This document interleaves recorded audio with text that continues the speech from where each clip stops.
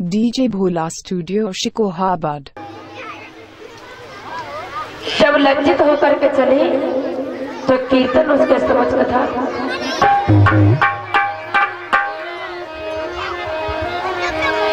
बोलिए श्रीमद भागवत महापुराण की।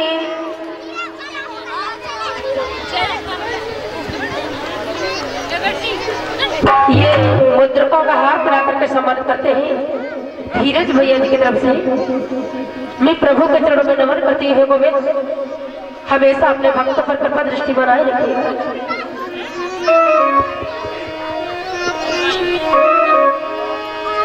कि तेरी रोनो जोनो रोनो जोनो